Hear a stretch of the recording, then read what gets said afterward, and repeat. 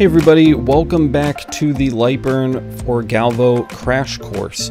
Last episode, we figured out how to find our focal distance for our lens, and we did it all in Lightburn. It was a pretty quick and easy episode. It's extremely important that you follow that guide and find your best focal distance before watching this video and trying to do the things that come after it. If your focal distance is not set correctly, nothing that we do from here on out is going to be accurate. And there's going to be a lot of measuring, uh, a lot of calculating, and things like that. So it's all going to be based on whether or not we're actually in focus. So if you haven't, please take a moment, go back an episode, and watch the episode about finding your focal distance, then come back here. The purpose of today's episode, episode 9, for those of you who are counting, is to kind of prepare you for what is coming up next. In our device settings here, early on in the series, I said that we would come back to things like core file, our red dot settings, and our jump and delay settings. And today is that day. We're coming back, we're ready to do it.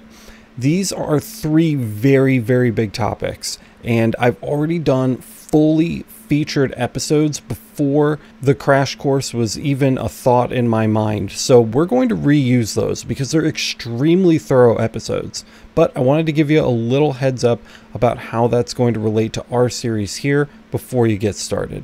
You want to do these in a specific order. The very first thing you're going to do is take care of your lens corrections. This is going to fix any warp or distortion caused by the fact that you're using a circular lens and projecting a square workspace. In order to effectively align our red dot or set our timing settings, we need to make sure that we've eliminated any distortion first. So you're going to do your lens corrections first. After that, we're going to jump over and do laser timing. Laser timing is going to come second. In order, again, to align our red dot appropriately, we need to make sure that our laser timing is set up correctly. After you've taken care of those two behemoths, then we can go ahead and get our red dot aligned with our actual fiber laser and make sure that our digital workspace is aligned with our physical one.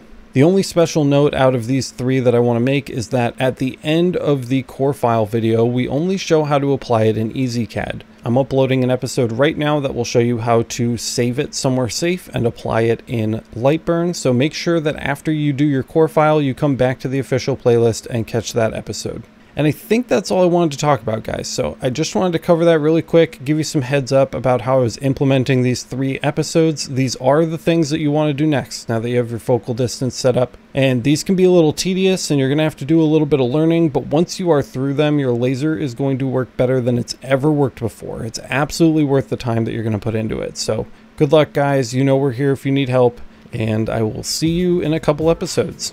Hey guys, thank you so much for watching this episode of the Lightburn for Galvo crash course. If you got value out of this one, don't forget to smash the like button, let everybody else know the content is good, and don't forget to subscribe and hit the notification bell so that you get notified the next time we add an episode to the crash course.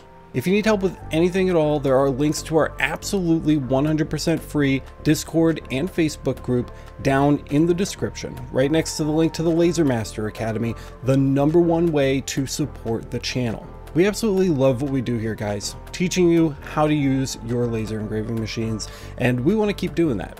Every episode that we upload to the YouTube channel for everyone for free is thanks to our members over at the Laser Master Academy. If you want to sign up to support the channel, you can find out more over at masters.lasereverything.net. It starts at 8 bucks a month, it comes with a bunch of bonus goodies for signing up, and it's an awesome community over there. So I hope to see you over there soon. That's all I've got for this one, guys. Thank you so much for watching again, and I will see you in the next one.